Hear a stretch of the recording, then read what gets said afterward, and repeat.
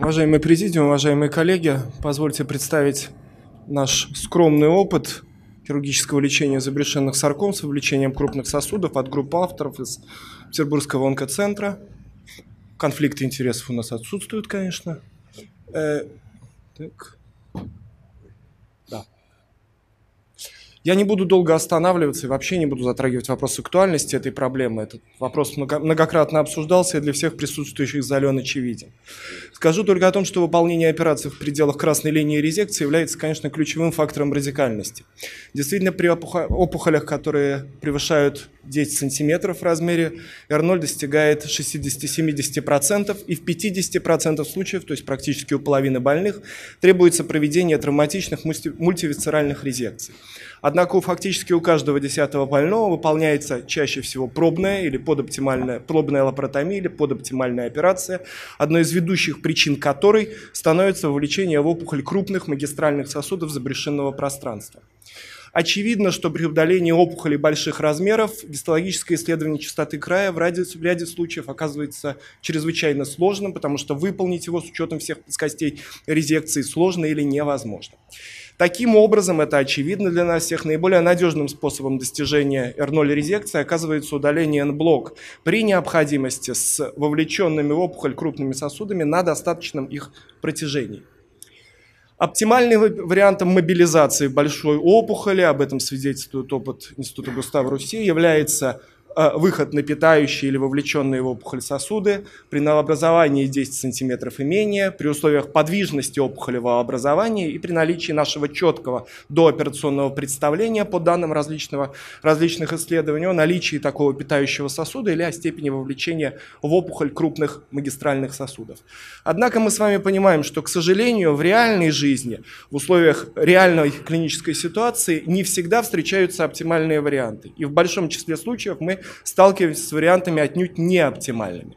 И в этом случае мы оказываемся в сложной ситуации выполнения, ну, скажем так, слепой операции. Когда при неподвижности основного массива опухоли мы не можем подойти к питающим или приносящим сосудам, и в этом случае любое неосторожное движение хирурга, любая попытка выполнения э, доступа к этим сосудам может привести к плохо контролируемой кровопотере с соответствующими неблагоприятными, фатальными в ряде случаев э, результатами для нашего пациента. К сожалению, и это показывает опыт целого ряда авторов, в частности, здесь мы приводим опыт наших итальянских коллег, опубликованный в журнале, в Европейском журнале хирургической онкологии. Так вот, опыт показывает, что ни одно из инструментальных исследований в 100% случаев не, не может нам дооперационно гарантировать четкую Э, четкий ответ на вопрос, какие сосуды вовлечены и насколько они вовлечены. То есть ни один из инструментальных критериев диагностики по данным этих авторов не оказался достаточно информативным. В результате мы оказываемся в ситуации, когда во время операции мы вроде бы имеем исходную информацию, ориентируемся на нее, но интраоперационные данные могут не в полной мере соответствовать данным предоперационным, а в ряде случаев вплоть до того, что противоречат им. Мы проанализировали наш опыт, он небольшой, но тем не менее опыт лечения пациентов с забрешенными саркомами. Из достаточно большого числа пациентов без инвазии, опухоли, э, инвазии опухоли в крупные сосуды оказалось 86 пациентов, и они не включены в это наблюдение. Причем речь об отсутствии инвазии шла или на этапе до операции, или такой факт был выявлен во время операции. А вот 38 пациентов мы обнаружили вовлечение магистральных артерий или вен, распределение по типам вовлеченности артерии и вена, только артерия, только вена, представлено на данном слайде. Причем следует отметить, что преобладающая часть этих пациентов ранее или была консультирована, или была оперирована в других учреждениях, выполнялась пробная лапаротомия, выполнение радикального вмешательства э, было отказано в связи с вовлечением крупных сосудов. Представляю первое клиническое наблюдение. Процедив липосаркомы забрешенного пространства с предположительной, по данным дооперационного обследования, инвазией в левые подвздошные сосуды. Интраоперационная инвазия подтверждается, но мы сталкиваемся с самым благоприятным, если возможно говорить о благоприятности в данном случае, ситуацией. Действительно, опухоль на небольшом протяжении подрастает к левым подвздошным сосудам, к вене и к артерии. Но, тем не менее, в этой ситуации нам удается обойтись, что называется, малой кровью, выполнить резекцию левой подвздошной вены с прямым анастомозом и краевую резекцию левой подвздошной артерии без выполнения какой-либо э, синтетической пластики. Мы опять возвращаемся к вопросу о предоперационном планировании. К сожалению, все методы диагностики не позволяют нам заранее ответить на вопрос, с чем мы сможем столкнуться интраоперационно. Тем не менее, тем не менее, мы пытаемся сами для себя выработать собственные критерии, ориентируемся на имеющиеся критерии, что же нам позволит говорить или предполагать наличие вовлеченности крупных сосудов э, в опухолевый узел. Критерии перечислены на данном слайде. Я хотел бы сказать, что наиболее частым методом, наиболее методом, которому мы наибольше доверяем, конечно, является компьютерная томография с ангиографией. И ультразвуковое исследование. Причем в последнее время мы все чаще стали использовать ультразвуковое исследование с э, контрастированием, то есть контраст усиленное, которое в ряде случаев позволяет четко дифференцировать стенку от опухолевого конгломерата. Прочие методы исследований без сомнений важны, но они являются для нас в нашем представлении вторичными относительно перечисленных двух методик. Второе клиническое наблюдение представляет еще один случай рецидива, локального рецидива, точнее процедива фибросаркомы левой подвздошной ямки и состояние после протезирования левой наружной подвздошной артерии, которое было выполнено за несколько месяцев до нашей операции. При до операционного обследования и во время операции мы выявили, инвазию опухоли в стенку общей наружной подвздошной артерии на протяжении и вовлеченность протеза лев, наружной подвздошной вены, как это представлено на слайде, в опухолевый конгломерат. И здесь перед нами встает вопрос, что нужно протезировать у этих пациентов, насколько необходимо тотальное протезирование. Вы видите интраоперационную фотографию, вот протезированная подвздошная артерия от уровня общей подвздошной артерии фактически до бедренной артерии, протезированная синтетическим протезом. А вот протеза подвздошной вены вы здесь не видите. Мы действительно не выполняли эту операцию, так как всегда в этих ситуациях мы являемся приверженцами э, понятие о целесообразности. Если у пациентки уже был протез подвздошной вены, который уже был тромбирован, который уже не функционировал, имеет ли смысл расширять объем операции? Имеет ли смысл выполнять еще одно протезирование? А любое протезирование – это увеличивающийся риск послеоперационных осложнений? В нашем представлении нет. На этом слайде мне хотелось бы обратить ваше внимание еще на одну деталь. Посмотрите, мы видим протез только на ограниченном участке.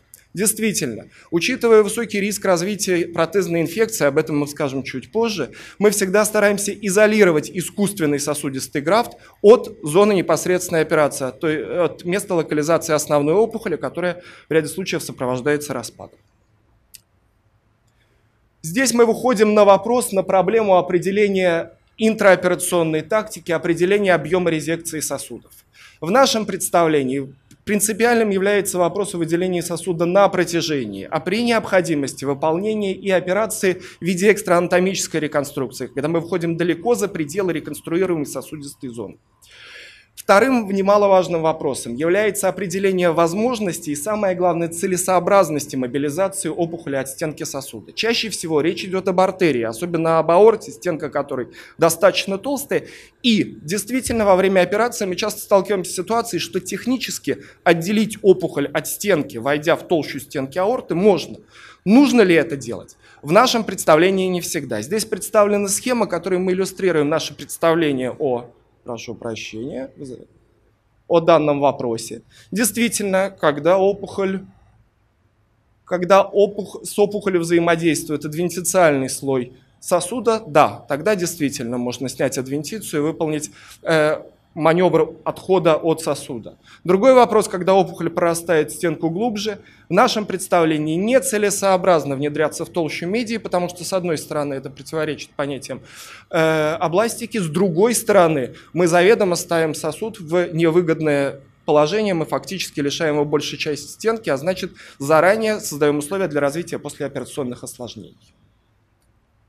Следующее клиническое наблюдение. Больших размеров забрюшинная липосаркома с плотным подрастанием к стенке аорты и с инвазией в левую подвздошную артерию. Вы видите опухоль, вы видите аорту, где э, опухоль к ней подрастает.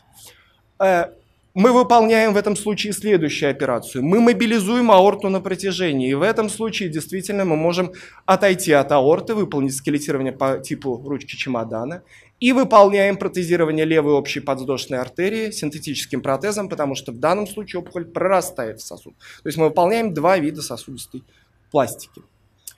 Здесь мы сталкиваемся еще с одним аспектом принципиальной необходимости планирования и организации непосредственно хирургического этапа вмешательства. Учитывая, что мы заранее не всегда можем предсказать факт степени вовлечения крупных сосудов в опухолевый процесс, мы должны быть готовы как к малому вмешательству, так и к экстремально большому вмешательству. А для этого необходима организационная готовность и бригады, и готовность расходных материалов, технического обеспечения, запаса крови. С другой стороны, мы всегда должны быть готовы предотвратить напрасное расширение объема вмешательства, только исходя из волонтаризма хирурга, желания выполнить большую операцию.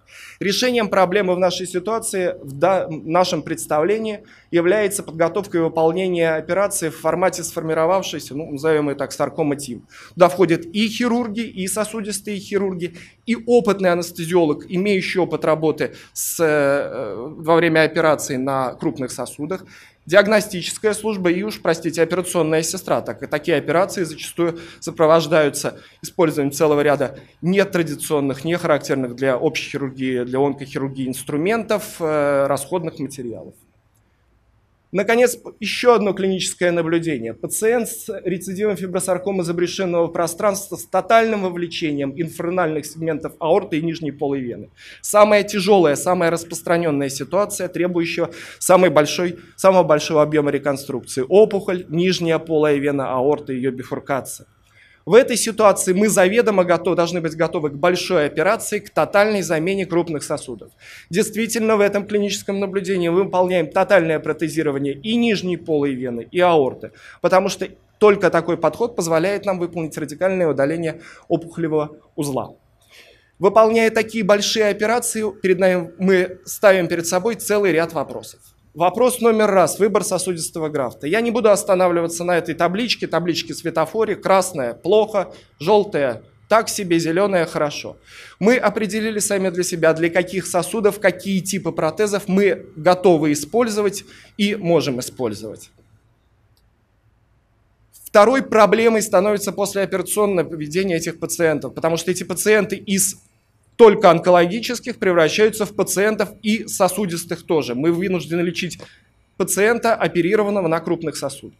Большой проблемой для нас становится проблема инфекции зоны сосудистой реконструкции. Инфицирование сосу синтетических сосудистых протезов – это огромная проблема в хирургии, часто сопровождающаяся, если не гибелью больного, то его инвалидизацией.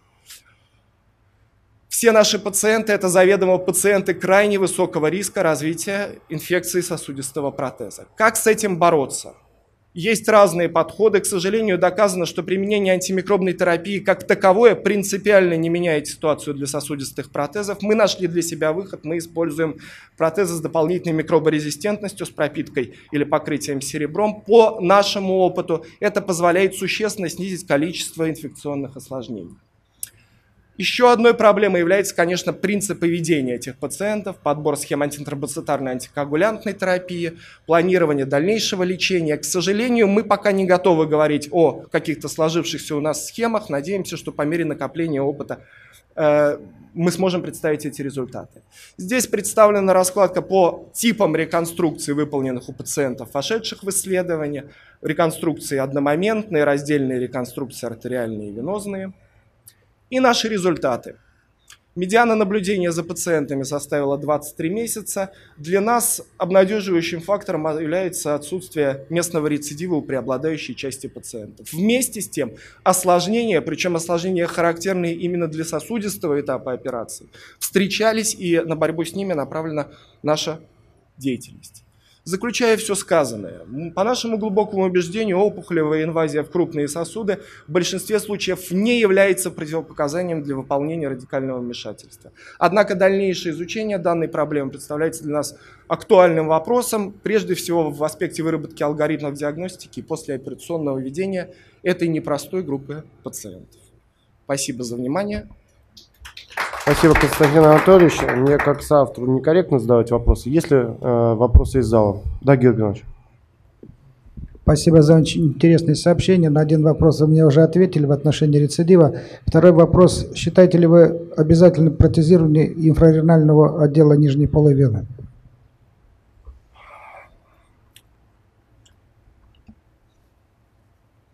В... Я... Спро- спрошу проще. Э, надо ли протезировать или не надо? Я отвечу так, Георгий Иванович. Если в нашем представлении, если дооперацион, дооперационная ситуация была такова, что нижняя полая вена была уже окклюзирована, или же степень ее сужения, степень нарушения кровотока была, приближалась к субокклюзии, то, конечно, идти на расширение объема операции и протезировать нижнюю полую вену не надо, потому что к этому моменту обычно формируются значимые коллатерали через э, коллатеральные вены, и, конечно, это напрасная операция. В том случае, если у нас имеется прорастание стенки и э, проходимость нижней полой вены сохранена, мы стараемся всегда протезировать сосуд. Спасибо. Пожалуйста, еще вопрос. Скажите, пожалуйста, э, были ли у вас проблемы с э, лимфостазом или отеком нижней конечности и э, лимфореей выраженной, приводящей иногда к некрозам и расхождению раны?